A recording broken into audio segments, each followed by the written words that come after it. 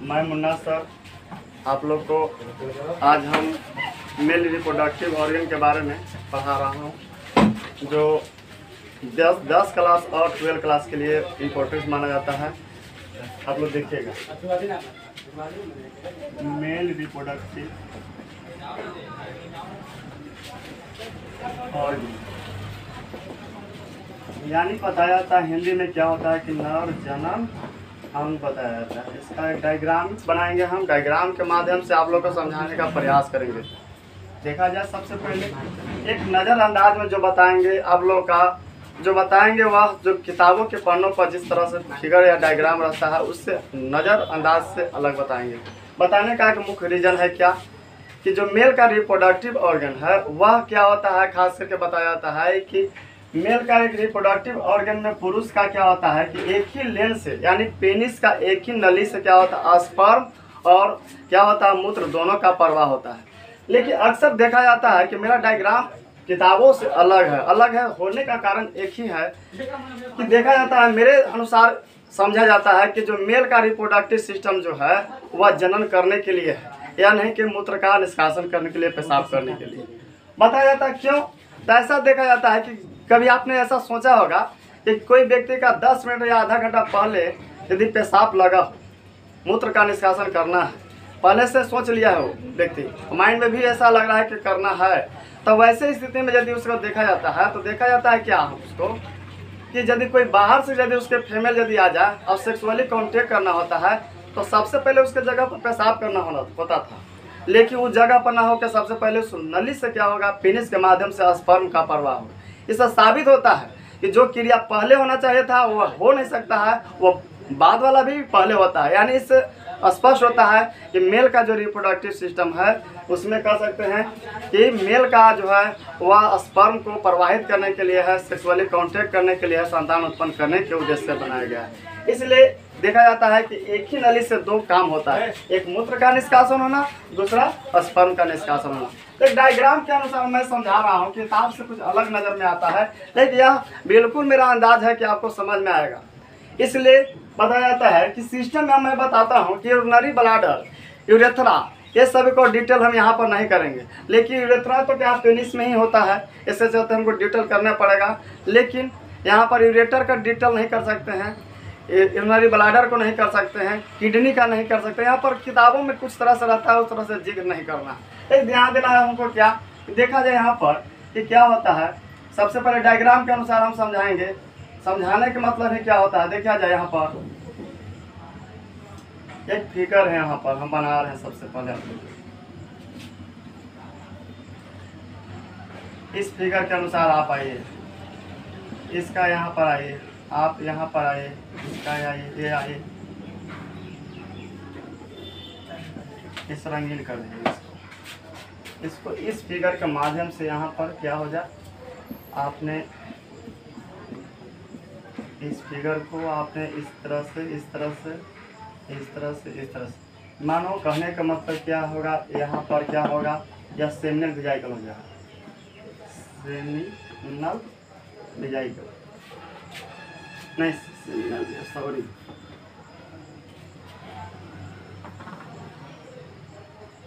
यहाँ से स्टार्ट किया जाता है सबसे पहले कि हम फिगर के पूर्ण रूप से लेके चलते हैं यहाँ पर। तो यह क्या है? सेकुलेटर से। इसको कहते हैं ब्रीसन कोष कहते हैं और इसको क्या कहते हैं? टेस्टिस कहते हैं।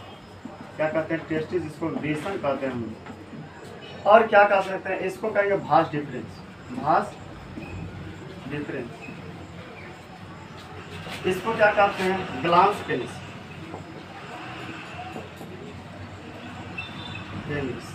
सभी को हम इंग्लिश में टर्म पर यहाँ पर फोकस कर रहा हूँ, लेकिन मैं जब बताऊँगा तो हिंदी भी बताएँगे यहाँ पर।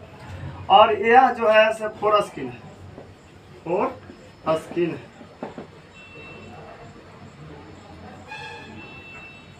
ये है जो है सर कॉपर ग्लैंड है। कॉपर ग्लैंड इस फिगर को कहेंगे? पेनिस एंड इसको क्या कहेंगे? यूरेथ्रा कहेंगे. U R U H R urethra इसको कहेंगे यूरेथ्रा अब इसको यहाँ पर लेके चलिए, इसको यहाँ पर लेके चलिए। अब यहाँ पर देखना सबसे पहले। इस फिगर को सबसे पहले यहाँ पर देखा जाए, इस फिगर को देखा जाए। इसको प्रोस्टेट स्टेट ग्लैंड इस, इसको कहते हैं ejaculatory duct E J L T O R इसको कहेंगे सेमिनल भिजाइकल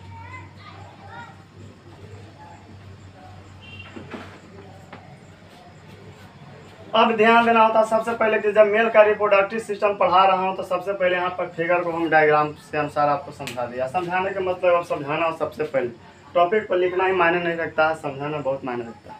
अब ध्यान देखते हैं कि सेक्रेटल सेक है क्या? ब्रीसन कोष इसको हिंदी में बोला जाता है।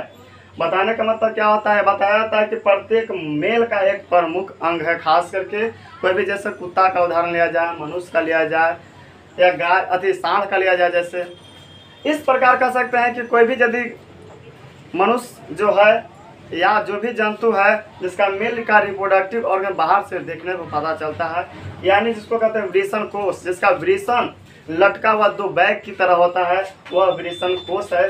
और वृषण कोष में कहे कि क्या सर बताए हैं, सर डायग्राम के अनुसार?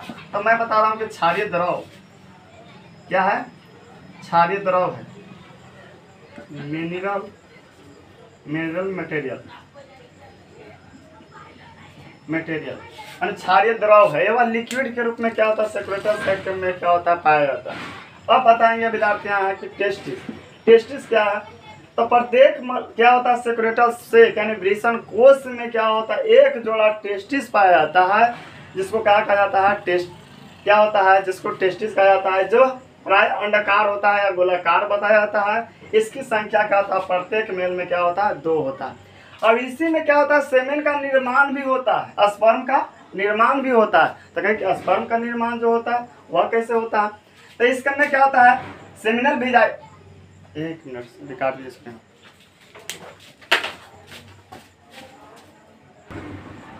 ठीक है?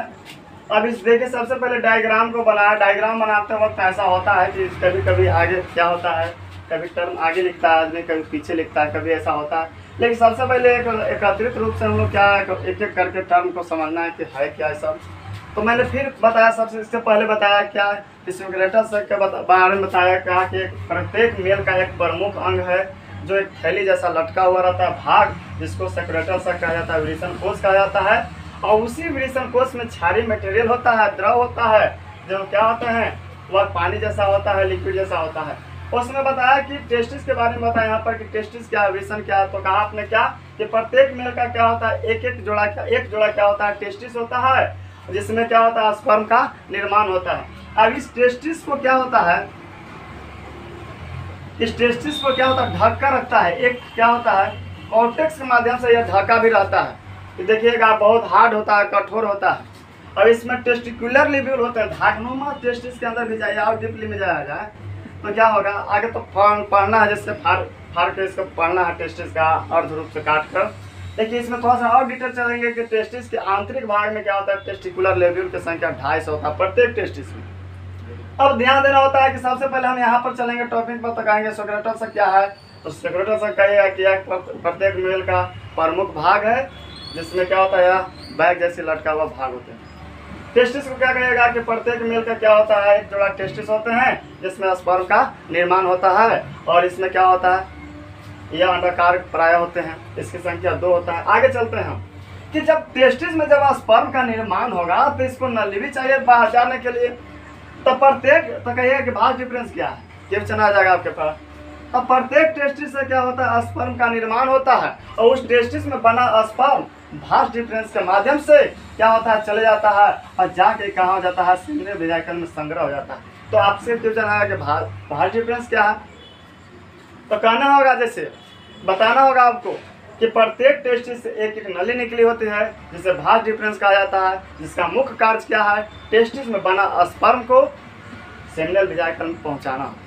क्लियर अब चलते हैं विद्यार्थी, यहाँ पर हम। कि सीमेंट विजाइकल कहाँ, क्या है? तो कहेंगे जहाँ पर सीमेंट जामा रहता है, संग्रह रहता है उसी उसको क्या कहते हैं, जहाँ जामा होता है, उसको सीमेंट विजाइकल में कहा जाता है। ये नहीं कि जब सेक्सुअली कॉन्टेक्ट करेगा तो यहाँ पर स्पर्म बन के पुनः जाएगा। नहीं, यह क्रिया क्या होता है, भोजन करने के निरंतर ऐसा क्रिया होते रहता है, स्पर्म का बनना होते रहता है, और बाहर जितना बेचारा पहुँचा देता है, कहाँ पर? सेमिनल विजाइकल यानी सेमिनल विजाइकल साफ़ कहेंगे, जहाँ पर सेमिनल जामा होता है, उसे शुक्राशय ग्रंथि कहा जाता है। याद रहेगा ठीक आगे चलते हैं स्पिलेटरी डट एक प्रकार की क्या होता है कि प्रोस्टेट ग्लैंड और सेमिनल विजाइकल के बीच में क्या होता है? एक क्या एक प्रकार के हार्मोन है या जो स्किलेटरी डक्ट कहते हैं, जो ठीक इसके बीच में है। इसका मुख्य काम क्या है विद्यार्थी? सेमिनल विजाइकल में जो स्पर्म जो जामा रहता है, उसको क्या करता है? वह धीरे धीरे क्या होता है? यह बेचारा स्पर्म क्या होता है? फ्लो करना इसको काम होता है। मैं इस हार्मोन से क्रिएशन होता है तो जो जामा स्पर्म है, उसको फ्लो यानी इसका क्या करना? फ्लो करना, बहाना काम होता है। तो प्रोस्टेट ग्लैंड क्या है सर आपको क्वेश्चन आ जाएगा, ये प्रोस्टेट ग्लैंड क्या है?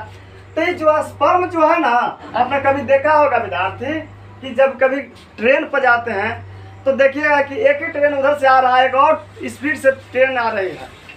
तो आपने कभी ऐसा क्लियर करके देखे होंगे कि तेज का जो ट्रेन आता है ना तो धीमा पुरानका जो, धीमा जो चलता है ना, वो अति हो जाता है, धीमा हो जाता है। और तेज का क्या होता है? सराट से पार रहता है। याद करो, पहले मैंने बताया था वीडियो करने के पहले कि मेल का जो रिप्रोडक्टिव सिस्टम जो मैंने बनाया है, या जो बताया है, वह किताबों से डिफरेंस है, सभी से डिफरेंस है, सभी टीचरों से डिफरेंस है। डिफरेंस होने का कारण क्या है? अब यहाँ पर सोचेंगे कि क्या होता है, पेशाब जो होता है, वह पेशाब जो होता है, या यूरिनरी यूरिन का जो प्रवाह करता है, वह धीमा रहता है, तभी कोई दिक्कत नहीं। लेकिन एक ध्यान देना होगा कि जब मेल सेक्सुअली कांटेक्ट करता है तो स्पर्म का प्रवाह तेज़ी से होना चाहिए। अब ऐसा मुख्य तेज़ी से करना है इसका रनिंग होना चाहिए। देखिएगा कि जब स्पर्म का प्रवाह होता है धीमा जमी पड़ेगा तो संतान नहीं होगा, विद्यार्थी। ध्यान देना होगा। इसलिए मैं कहता हूँ कि स्कुलेटरी डक्ट का तो काम क्या है कि सेमिनल विजाइकल में जो स्पर्म है, वो संग्रह है, उसको क्या फ्लो करना काम होता है। लेकिन बेचारा चलता है तो इसका रनिंग करना काम होता है। प्रोस्टेट ग्लैंड का मुख्य काम क्या है? स्पर्म को तेज़ी करना।